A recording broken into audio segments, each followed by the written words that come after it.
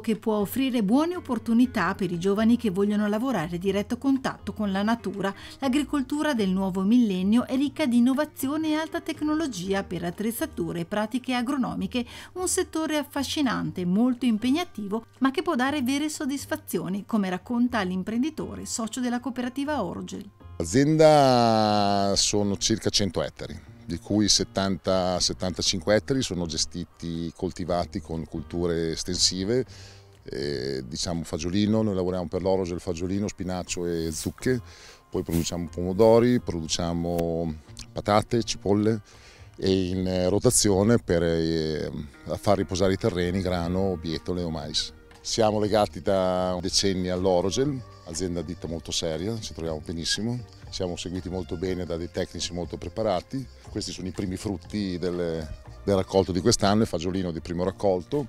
Il prodotto deve essere buono, sano e Orogel diciamo che ci fornisce tutte le competenze tecnici per portare avanti questo, questo tipo di progetto. La cooperativa che sia Orogel o che sia di altro tipo sono importanti proprio per il produttore, per la commercializzazione, per far conoscere il nostro prodotto. Stiamo livellando il terreno per poter dare pendenza e scolo delle, delle acque per togliere diciamo, tutti quelli che sono i fossili e scoline per recuperare un po' di superficie e riseminiamo il fagiolino di secondo raccolto per fare un blocco unico, questo è un blocco unico di 9-10 ettari. Sono dei trattori con laser, devono trovare la pendenza giusta e adatta Qui abbiamo un'irrigazione di precisione con tutti gli spruzzini, tutto quanto computerizzato, viene poi eh, programmato il tempo e la quantità d'acqua necessaria per il prodotto. Noi qui utilizziamo l'acqua in pressione del CER, del canale Emiliano Romagnolo, per fortuna che esiste il CER perché senza l'irrigazione è impossibile fare queste determinate produzioni.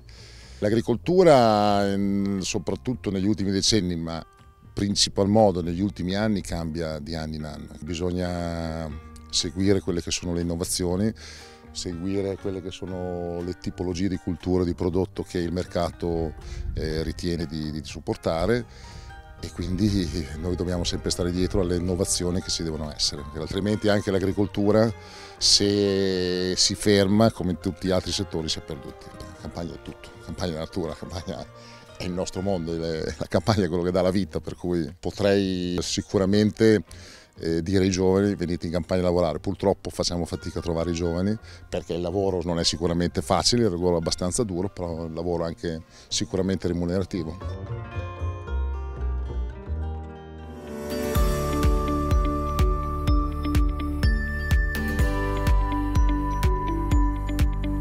CRPV e Astra Innovazione organizzano la visita guidata alla prova di confronto su fagiolino da mercato fresco e industria.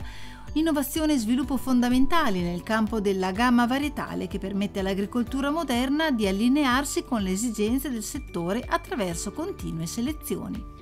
Ci troviamo presso un'unità operativa di Astra e siamo in un campo di confronto varietare fagiolino, sia da mercato fresco che da industria e all'interno di questi campi vengono messe a confronto diverse varietà o selezioni per le quali vengono valutati diversi parametri eh, sia produttivi che qualitativi. Le verifiche eh, vengono fatte sostanzialmente eh, sulla morfologia della pianta, quindi l'altezza delle piante, le fioriture, l'epoca di fioriture, l'intensità delle fioriture, la cascola eventualmente dei fiori se, se c'è e se è più presente in alcune varietà o selezioni rispetto ad altre l'allettamento, il portamento delle piante, poi quando raggiunge la maturità diciamo commerciale e mm, su invece il, le bacche che vengono raccolte si fanno tutti i rilievi produttivi e qualitativi, quindi numero eh, di fagiolini raccolti, peso, quindi di conseguenza il peso medio, la lunghezza dei baccelli, il calibro che è molto importante soprattutto nel fagiolino da industria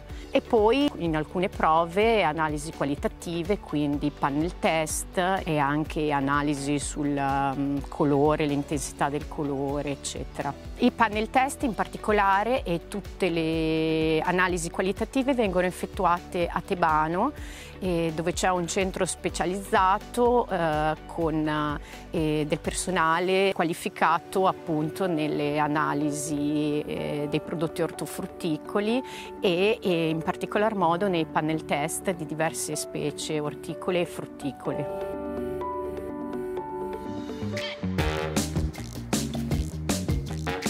Costante innovazione tecnologica applicata alle linee di lavorazione continua a rendere tangibile il percorso di sostenibilità intrapreso dall'azienda. L'investimento che vede operativo un pelatore a pressione di vapore utilizzabile per radici e tuberi assicura elevata qualità di pelatura e limita l'utilizzo di acque di lavaggio, un investimento mirato e dedicato alla salvaguardia dell'ambiente. Le carote arrivano in stabilimento già lavate e scolettate e, e sono calibrate in secondo diversi calibri e a seconda del calibro hanno una destinazione diversa. Il primo processo è il lavaggio e poi la fase di pelatura, una pelatura a vapore. Dopo la pelatura abbiamo una spazzolatura e, e una cerita manuale. Successivamente abbiamo il taglio che a seconda del calibro può essere fatto a disco oppure a, a cubetti Abbiamo diversi formati, vanno nei misti, nei minestroni, nelle zuppe. Sul processo di pelatura abbiamo fatto uno studio eh, molto importante e il nostro obiettivo era quello di eh, migliorare le rese produttive, di ridurre l'impatto eh, ambientale eh, di questa lavorazione e, e quindi abbiamo eh, puntato su una tecnologia che potesse permetterci di ottenere tutti questi risultati. È una pelatura a vapore, quindi un processo naturale senza l'uso di nessun tipo di additivo.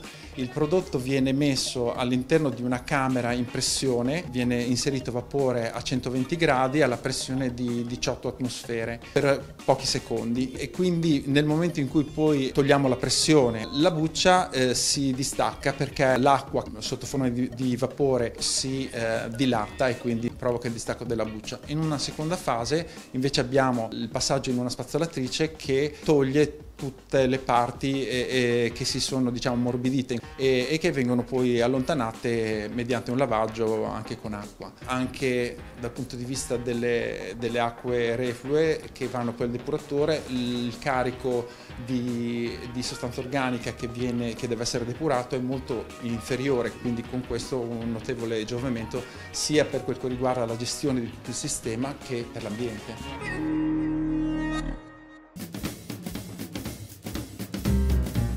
Maculatura bruna si è manifestata sul pero in Italia dagli anni 70 e ha sempre determinato un'elevata dannosità. Difficili sono sempre stati gli interventi per debellare il fungo, ma la professionalità e preparazione degli agronomi permette oggi di mettere in campo nuove mirate ricerche che sembrano dare ottimi risultati. La problematica maculatura è una problematica che negli ultimi anni si è affacciata forte nel panorama della coltivazione del pero, in particolare su alcune varietà sensibili come abate in primis, ma anche conference subito a seguire.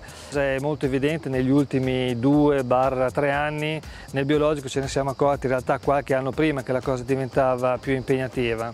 La cosa interessante sulla coltivazione del pero, sul controllo della maculatura, è che eh, dall'anno scorso abbiamo capito che eh, più che intervenire direttamente sulla pianta può essere ancora più interessante intervenire direttamente sul prato da cui il fungo della maculatura si muove per poi raggiungere la pianta. Questo fa sì che eh, a partire da quest'anno ci siano una serie di sperimentazioni che raccoglieranno un sacco di dati e ci auguriamo di avere in tempi brevi delle risposte interessanti. Eh, la cosa interessante comunque già in partenza, già oggi, è che effettivamente abbiamo avuto nei primi approcci dei dati estremamente incoraggianti eh, con dei prodotti veramente molto banali eh, come solfato di ferro, della calce idrata, piro di serbo eccetera eccetera. Quindi eh, effettivamente basta usare dei concimi o poco più per ottenere dei risultati straordinari. Però su questo abbiamo ancora molto da lavorare perché avendo semplicemente capito che la cosa può funzionare oggi dobbiamo invece provare a vedere tutto quello che riguarda l'approccio in termini di dosaggi, momenti di applicazione, timing eccetera eccetera. devo dire che l'argomento maculatura è un argomento che ha mh, suscitato tanto interesse e sono stati utilizzati molti fondi attraverso il PSR o il contributo della Regione Emilia Romagna, quindi sono stati veramente messi in campo eh, un bel po' di, di sforzi e quindi da questo punto di vista non c'è nulla da dire. Adesso si tratta soltanto di avere il tempo per riuscire a ottenere dei risultati.